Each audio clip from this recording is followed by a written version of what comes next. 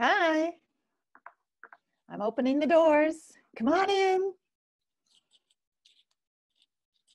Welcome. Nice to see you. I see myself, by the way, and I can see I'm getting a little shaggy. Probably not important. Not important in the larger scheme of things. And that's an interesting sort of process I find myself going through over and over these days.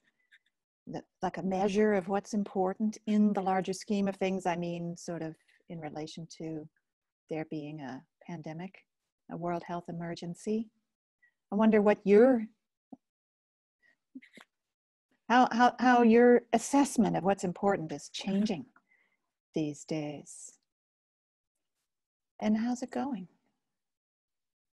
Like we've been in this for a while and there's probably evolving feelings about it. I mean, the first week I was just terrified and filled with dread.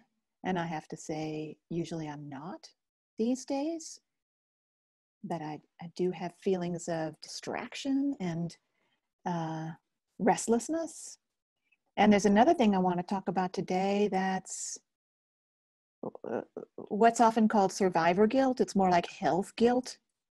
Like, oh my gosh, I read about terrible things, I see terrible things going on, and I'm okay.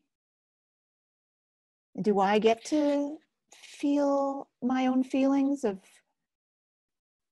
anxiousness and restlessness given that some people in the world are having a much harder time than me? Let's let's do a little processing about that today. And i'm just noticing that some people are checking in. And david writes i haven't shaved in the last two days and shave about every other day right now. Why bother? But i feel a loss of personal dignity. Yeah. I mean i hear that some people are staying in their pajamas all day. And i'm i'm not because i i'm appearing in public in a way. Uh, but how does how does how we live change how we feel about ourselves? Something to really get in touch with. Yeah.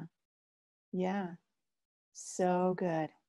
Um, Elizabeth writes, I've decided this is a totally new world. We're two month old babies. Ah, okay. There's a nice perspective. In other words, giving ourselves some time to understand that it's okay to feel new at all of this, what it is we're learning, what it is we're doing together. I love the hellos that are coming in from so many people. Why don't we do a little process together right now that has to do oh, with, um, I just saw somebody I like. Uh, I, I, yes, Carol is writing, I feel guilty for being happy.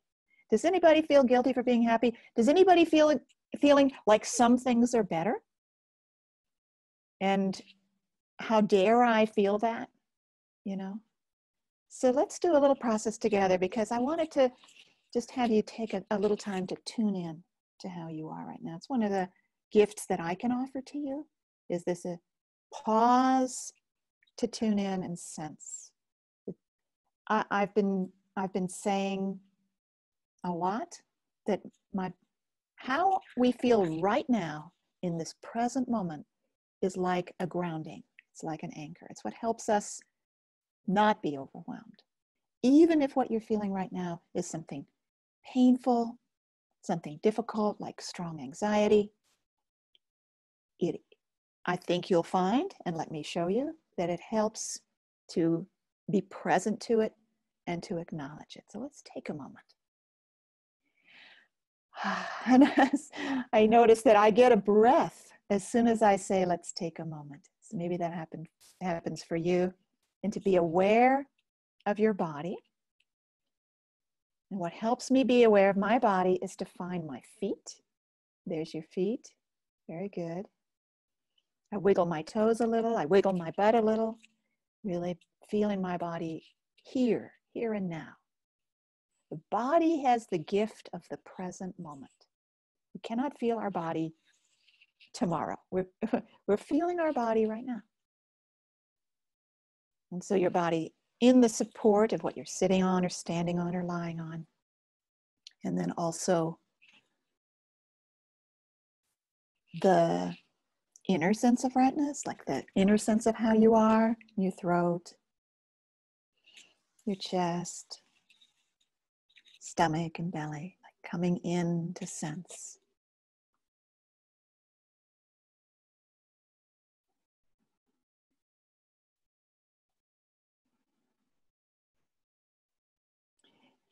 So, what if we say that however you're feeling right now is how you're feeling right now?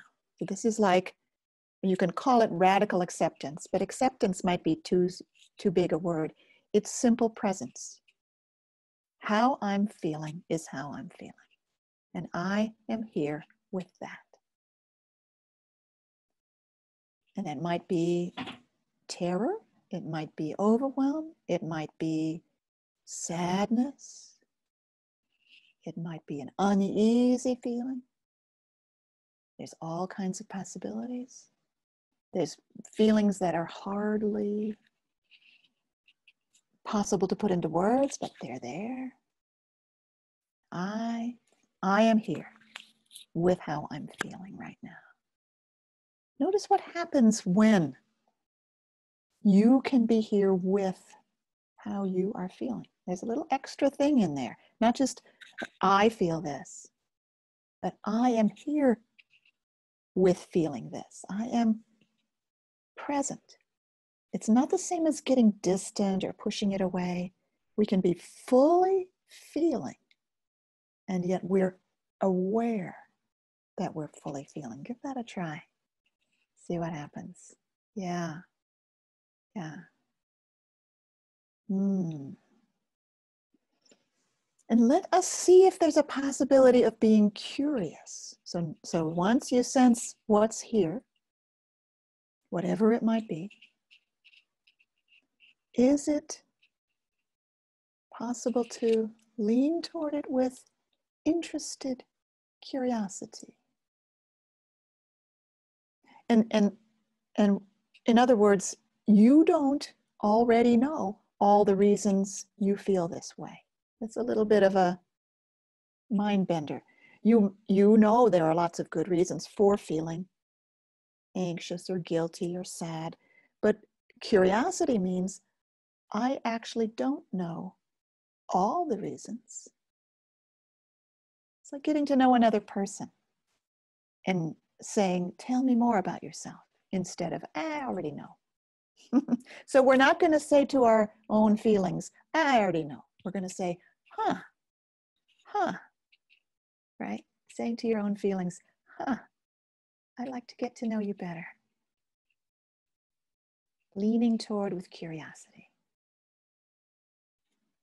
Mm, yeah.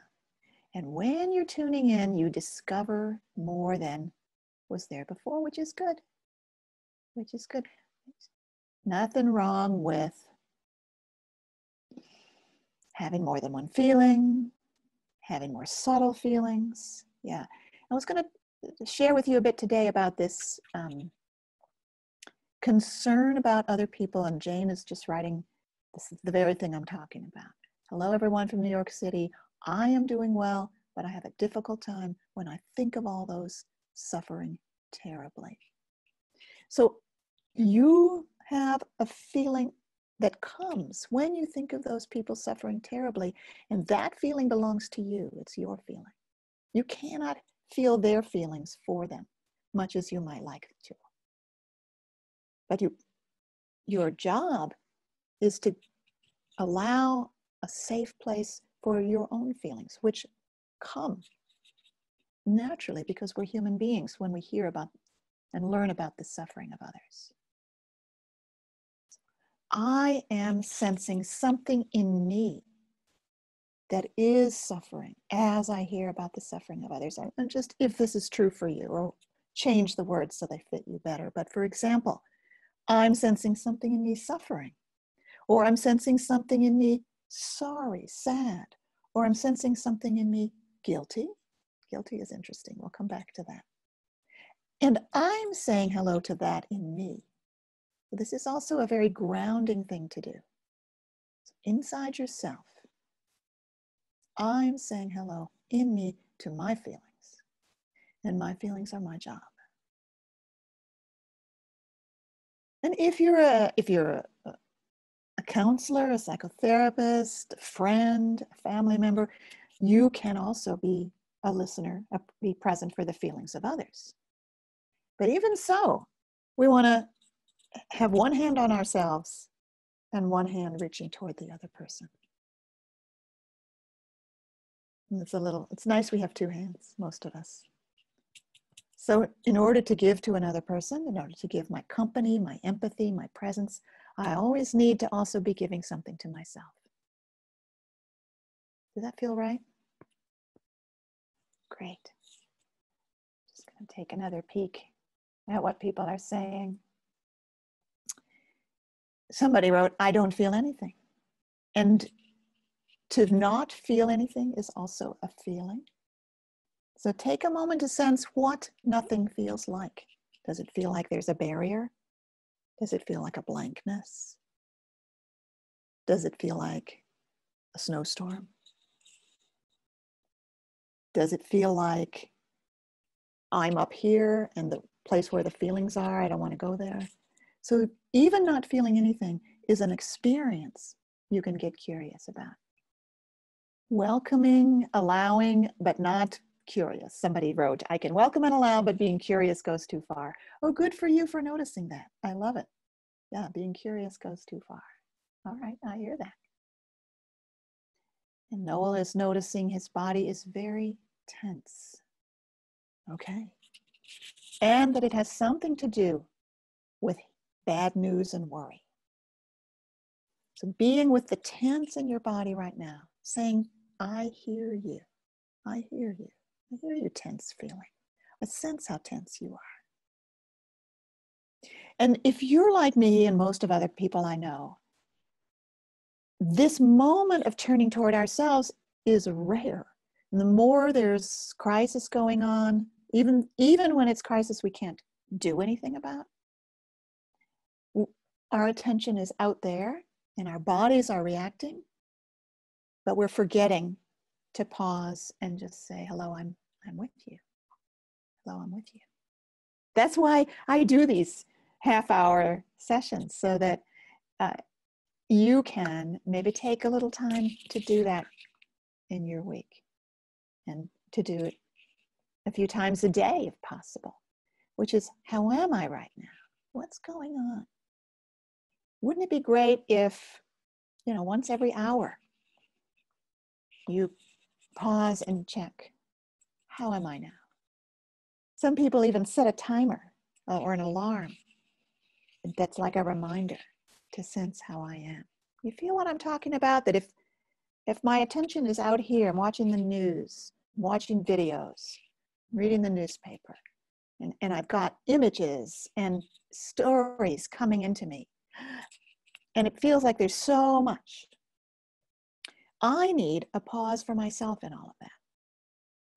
I need to say, okay, how am I right now? Wow, my stomach is clenched. Okay, stomach, I get how clenched you are. And then I might say to my stomach, what made you especially clenched? Because maybe I read the whole newspaper and maybe, or maybe I watched five things on Facebook. That's not me, I don't do Facebook, but somebody might.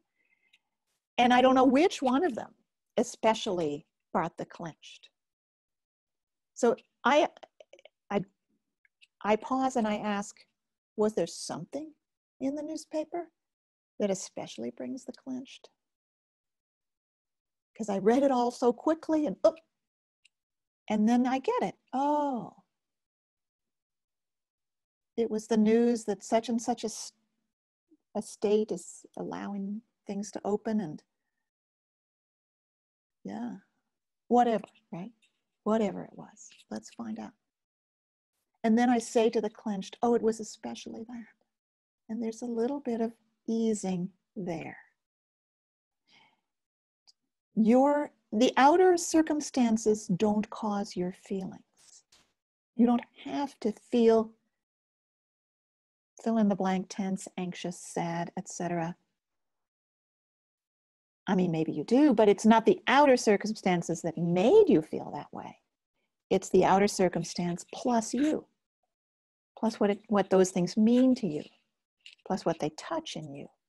And so, what it can feel like you have no control at all. I know I feel that way sometimes. I have no control at all. Uh, I have little control. I can stay home instead of going to the grocery store, but that's so little compared to what's going on. But what is within our realm, right? What is within our power is this inner relationship with how we feel. I can start with that, let's say, that part of me that's say, I have no control, I have no control, and say hello to that. And use the language, I'm sensing something in me has no control feels, has feelings about having no control. And take a moment to acknowledge that, let it know I hear it. I don't have to solve its problem. It doesn't really help to try to fix or solve. That's been my experience. On the feeling level, it doesn't really help. Let me just see what's in the chat lately. Oh, okay people are sharing some of their feelings. You know, if you choose all panelists and attendees, more people will see your chat instead of just me. Yeah, thank you so much. Sometimes feels like I'm living with earplugs in, sort of hearing myself most of the time, and and something wants to take them out and cannot. Yeah, so you're acknowledging something in you feeling a bit panicky at the way you seem like you're just hearing yourself all the time. You know, the power of acknowledging is so wonderful. So Laura's asking, it doesn't really help to solve the problems. Ah, no, what I meant to say was, it doesn't help to try to fix your feelings. If you have problems that you can do things about, that's wonderful. And maybe you can find a source of masks by networking in your neighborhood that's great. But it's our feeling states that we cannot fix by, let's say, for example, this is what I don't recommend. Let's say I have a feeling of, I, hate it that I feel so out of control.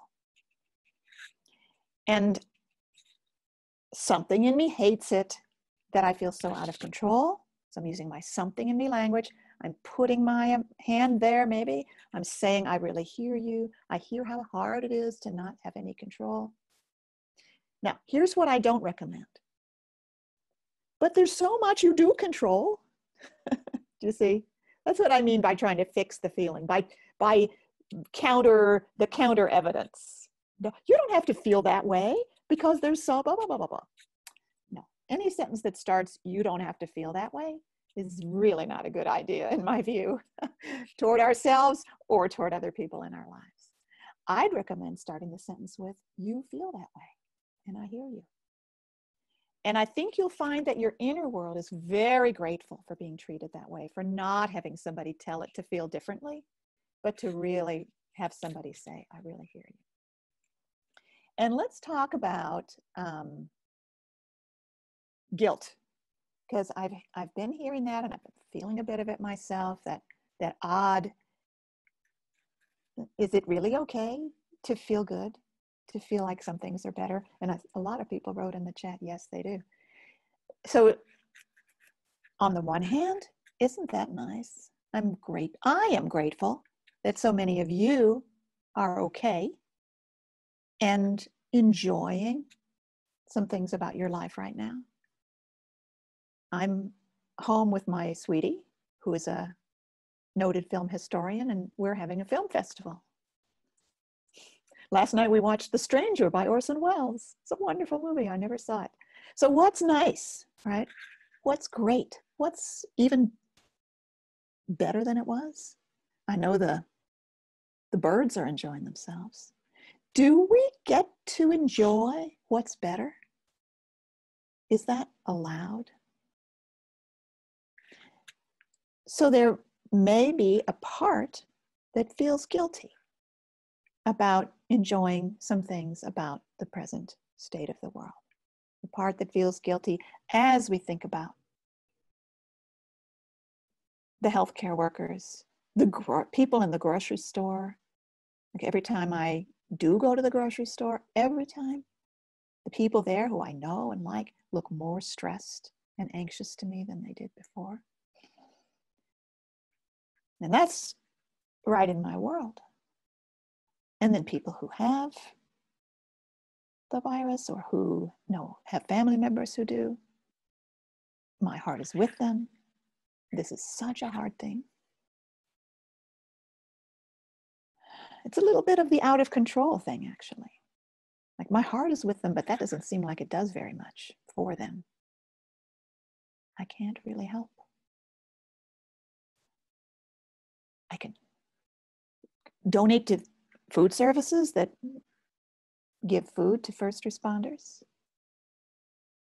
I donated the extra sheets in my house to somebody who was making them into masks. But it feels so little compared to what's what some are doing. So I get to be with those feelings. I just was touching some emotion right now, and I said it feels so little compared to what some are doing.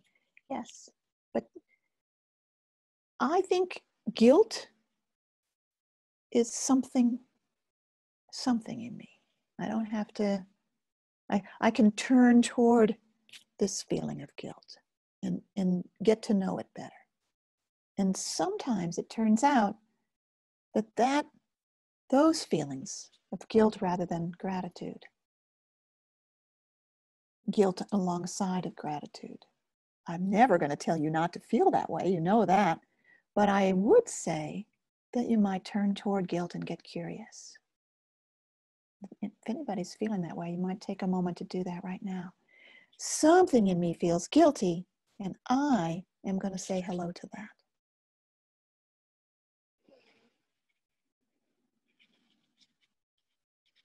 And see if it's possible to be curious.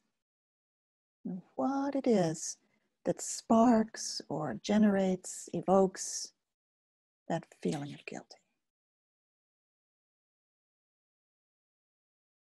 And I'm saying hello to that.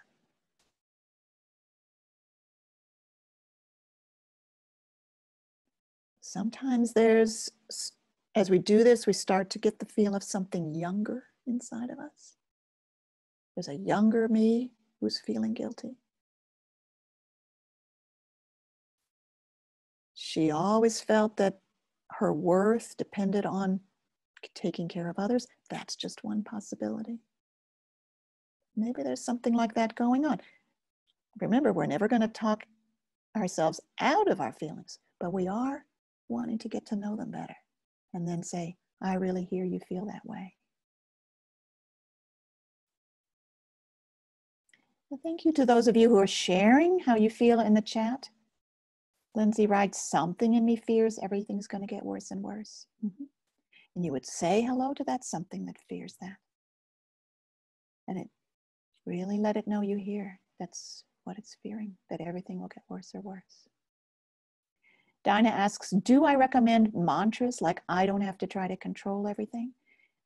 If that works for you, of course, go ahead. I have never found that such things work because, again, it's like I'm trying to talk myself out of things. So I'd rather do, for me, it works better to do the turning toward. I sense something in me that thinks it has to try to control everything, and I'm just saying hello to that. So what I'm doing is what we call unmerging or disidentifying. I discover there was something in me trying to control everything, for example, and rather than I don't have to control everything, because that's like kind of suppression, I just turn toward it. And the fact that I can turn towards something that thinks it has to try to control everything means I'm bigger than that. The very fact of turning toward it means I'm bigger than that. Yeah. Yeah, thank you, John. John wrote, I enjoy the sense of all of us sharing this precious time. Happy to be sharing this with you. Yeah, yeah.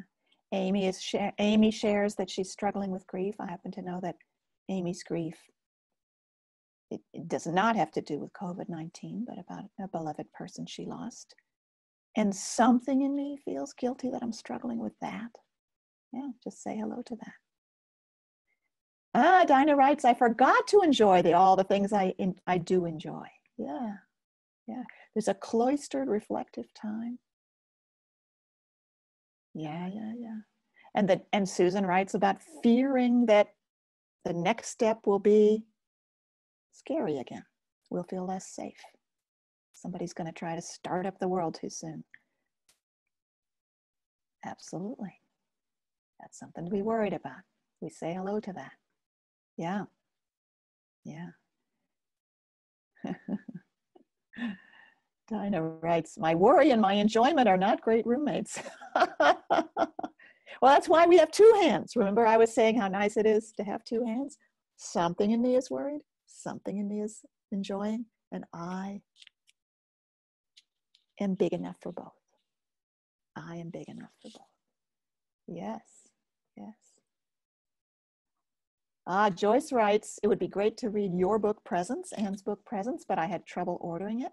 Well, we have a PDF ebook version. Now that this is the world of downloads. So, and, the, and that we were very careful to create, there's just as many pictures and things in the ebook version. Yeah, yeah, yeah, yeah. Oh, Donna, how nice that you're here. Feeling joy raises our vibration and that can be felt by others. So there is something we can do for others, even when there's so much we can't do. Wow. Victoria writes, something in me is tired to check myself all the time I'm not going anywhere. Yeah. Who's feeling just really sick of all the extra stuff we have to do to take care of ourselves? Let's say hello to that. Uh, and the and the and that part of us that has the impulse to stop. Do I really have to put on my mask every time? And let's say hello to that. You know, would it be nice if world leaders could say hello to their impulses more? but we can do it. ah, lovely, lovely to be with you, my dears. Yeah. So we're acknowledging what we're enjoying and what we're worried about. Seems like that's a lot of what we've been doing today. So remember to use something in me for stressful feelings like worry, tension, sadness. Sadness is sort of in the middle. Sadness can be a very connecting thing to feel, but if you're feeling anxious and scared, you can say something in me feels. Not to push it away, but so that it has company.